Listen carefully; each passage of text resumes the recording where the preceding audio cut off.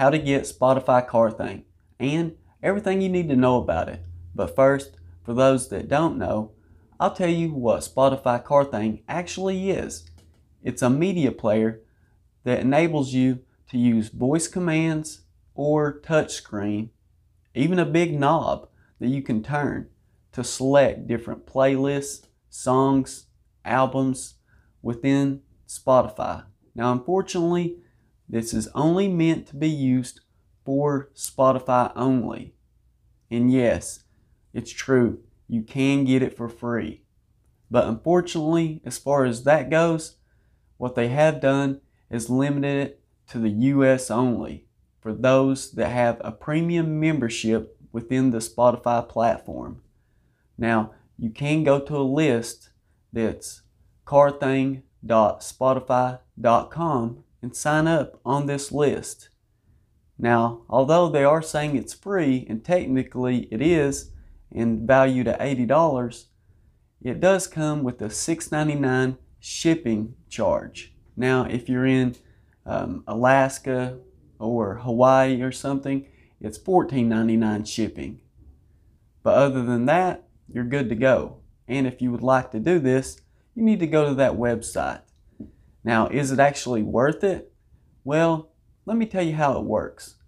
You need to connect it to your phone, and then your phone needs to be able to connect via Bluetooth, USB cable, aux cable, something of that nature. Most typical vehicles are able to do so in cars.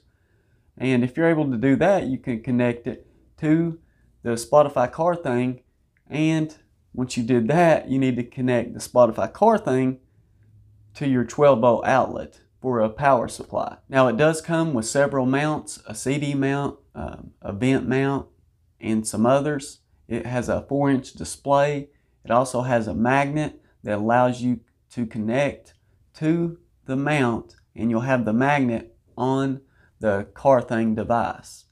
So another issue that you may run into is overheating. So if it's in front of the vent and you can look and Spotify themselves say do not let air go across the top speaker simply because of the voice command issues that it could cause you.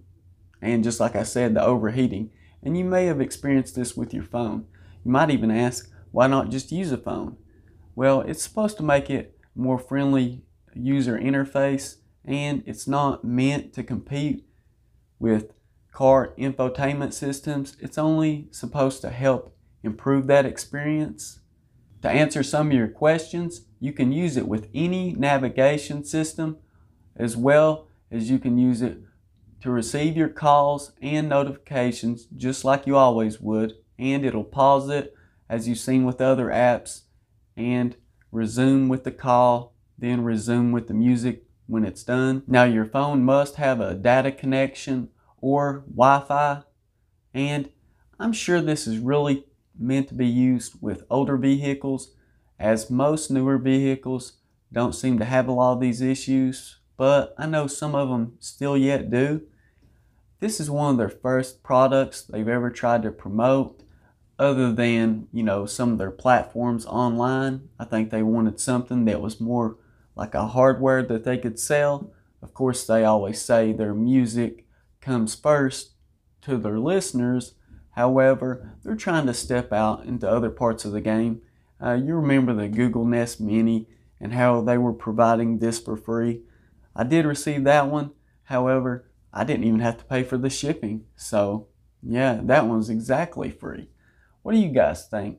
You think it's really worth it, just a waste of money? Um, or will it actually help a lot of people out? You know, I'd really like to hear your opinion.